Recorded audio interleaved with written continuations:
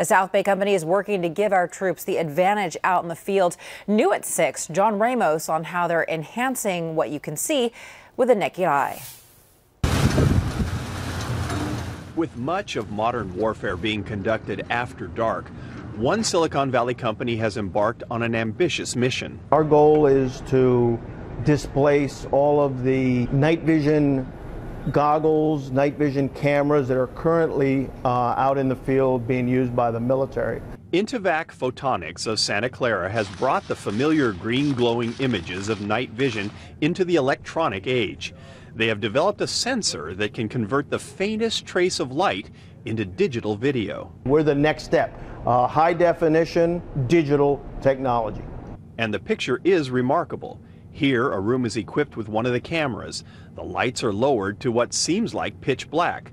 But look at the image the sensor picks up.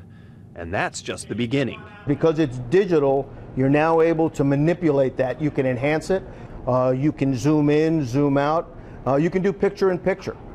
Which means with these mounted on helmets, soldiers could actually transmit what they're looking at to other soldiers and tactical information can be superimposed over the visual display. The cameras are now being mounted on Apache attack helicopters, meaning pilots no longer have to look away to monitor instrument data. And no matter where the pilot looks, he'll have that information. Come on, man, keep coming. It's a far cry from the technology in Top Gun, where the pilot had to take his eyes off his display to look for the enemy. But this isn't a movie. The people here are working to give the military a clearer view of an increasingly dark and dangerous world.